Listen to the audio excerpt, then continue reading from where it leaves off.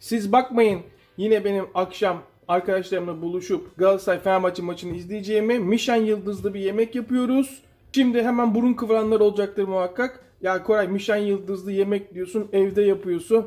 Ne alaka? Uskumru balığımız var. Filoto şekilde temizlenmiş.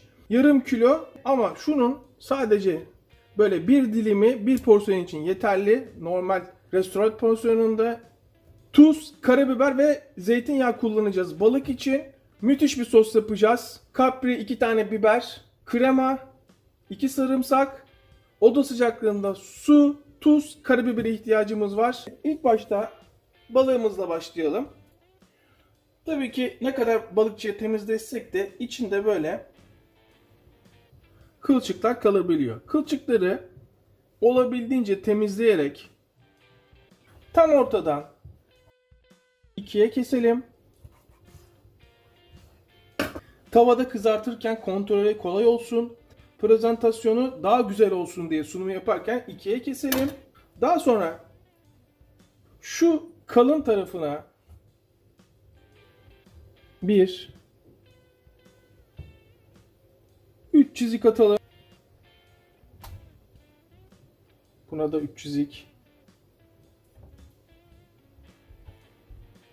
Kızartırken derisiyle eti aynı şekilde pişmiyor. O yüzden böyle çizikler atıyoruz. Bakın çok derin atmadım. Çok uzun da atmadım çizikleri. Hemen ikinci balığımızı da yapalım. Yine ortadan ikiye. Tam ortadan.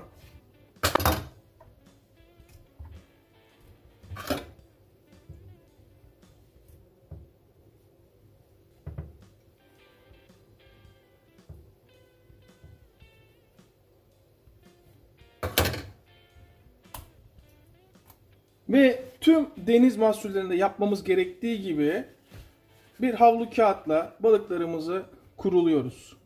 Bakın bu önemli bir işlem.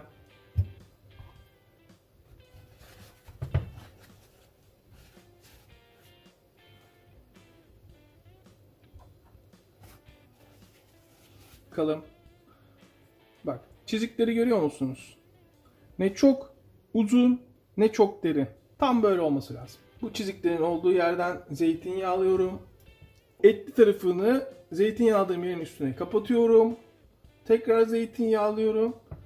Etli tarafı yeniden kapatıyorum.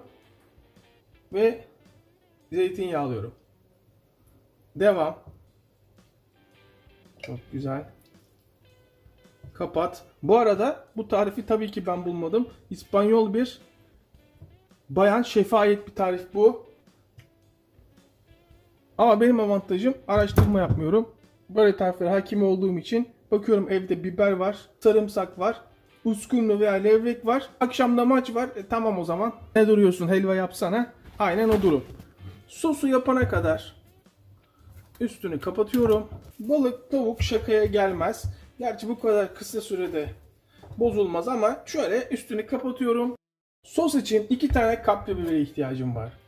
Kapya biberimi hatta bakın dolapta duruyor biberim görüyor musunuz? Özel bile almadım yani. Tarifin bir anda çıktığını anlatabilmek için bunu gösteriyorum.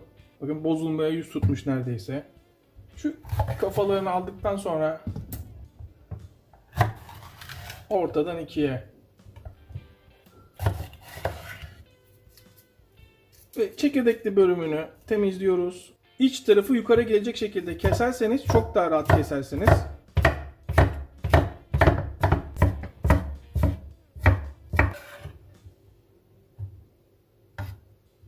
Biberlerimiz hazır. İki sarımsak. Sarımsakları sadece ikiye kesip sonra bir daha ikiye kesip dörde kesiyoruz. İkiye kes, bir daha ikiye kes ve dörde kes. Kamerayı açmayı unutmuşum. Yarım çay bardağı kadar zeytinyağı koydum. Eğer böyle porselen sos tavanız varsa harika olur. Yoksa çelik sos tavası da olur. O da yoksa çelik tencere bile olur. Yeter ki yapmak isteyin. Ocağımın en büyük gözüne en yüksek şekilde yaktım bu arada. Hemen biberlerim şu ilahi sesi duyduğunuz anda doğru yoldasınız. Tuz, karabiber, Orta ateşte biberimi kavuruyorum. Yaklaşık 4-5 dakika kadar. Zeytinyağının rengine bakar mısınız? Kesinlikle yanma yok ama tamamen biberle zeytinyağı aroması birbirine girmiş durumda şu anda.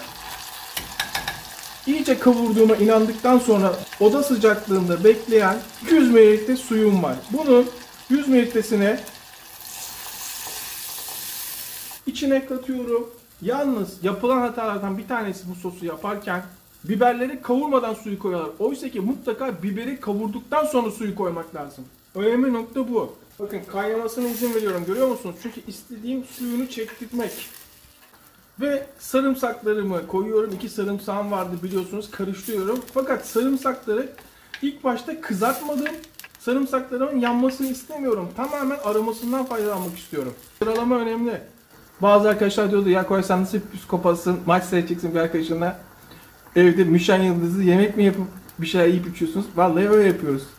En az 7-8 tane mezemiz var. E ne yapalım bu zamanda bir zevkimiz bu kaldı. Bir de yenerse Galatasaray Fenerbahçe. Oo ama Gustavo yokmuş. İşimiz zor. Suyun nerede olduğunu hatırlayın. Ve suyu çektirdikten sonra burada 200 mililitre kremam var. Bu kremanın 1 2 4 yemek kaşığını yani yarısını kullanıyorum. Şöyle iyice kremanın her yerini sardığını hissedin ve bunu bir taşım kaynaması lazım ama sadece böyle yanlardan değil tamamen ortasına kadar kaynaması lazım. Kaynadıktan sonra sosumuz ilk etapta hazır.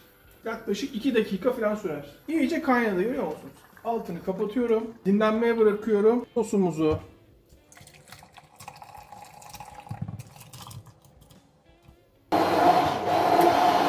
Durum bu. Görüyor musunuz? Tabii ki bu safhada bakın en ufak bir pürüz bırakmadım. Tamamen sos haline getirdim. Ve bu safhada tadına bakıyoruz.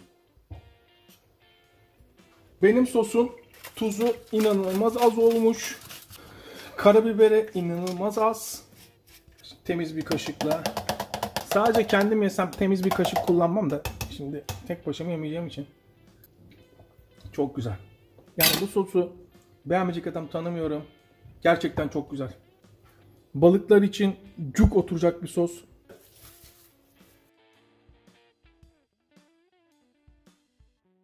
Etli tarafına sadece tuz. Bu tarafına sadece tuz. Karabiber kesinlikle eklemiyorum. Beyaz biber varsa ekleyebilirsiniz. Yeniden tuz. Ve derili tarafına karabiber. Maçın başlamasına 15 dakika kaldı. Hatta yiyip içmeye başladı millet. Bense hala sizin için uğraşıyorum. Böyle de duygu sömürüsü yaparım. Bunlar hemen kızarmaya. İsteyen zeytinyağı, isteyen ayçiçek yağı. Ben zeytinyağı kullanıyorum. İlk başta derili tarafını çok fazla yağ kullanmadım gördüğünüz gibi. Şöyle bastırıyorum. Yağ zaten yayılıyor.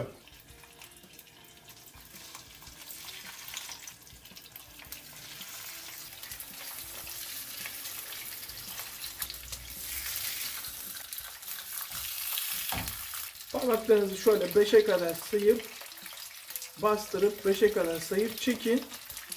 Yağın dağılmasına yardımcı olalım. Ne kadar az yağ koyduk ama yağ nasıl dağıldı? Her tarafa hiç dokunmamamız lazım. Derisi kıtır olana kadar kızarmasını beklememiz lazım. Şu kenarlarının beyazlaştığını görüyorsunuz değil mi? Beyazlaşmaya başladığı anda doğru yolda olduğumuzu anlayabiliriz. Kararmaya başladığı anda çevirmemiz gerektiğini anlayacağız. Böyle balıklarda maşa kullanmamak lazım.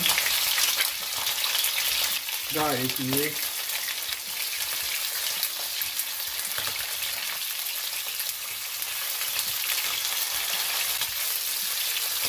Bu kestiğimiz ve derili kısmından attığımız çiziklerden yağların nasıl aktığını görüyor musunuz? Tamamen içine nüfus etmiş durumda. Toplam 5 dakika oldu. Bir bakalım. Rengini görüyor musunuz balığı? Normalde almam lazım ama size göstermek için şu tarafını karbonatmamıştık. Rengini görüyorsunuz. En ufak siyahlaşma yok. Artık balıklarımız hazır. Görüyorsunuz değil mi? En ufak kararma yok. Tam ortaya. şöyle 3-4 yemek kaşığı at. Olabildiğince yuvarlak olsun.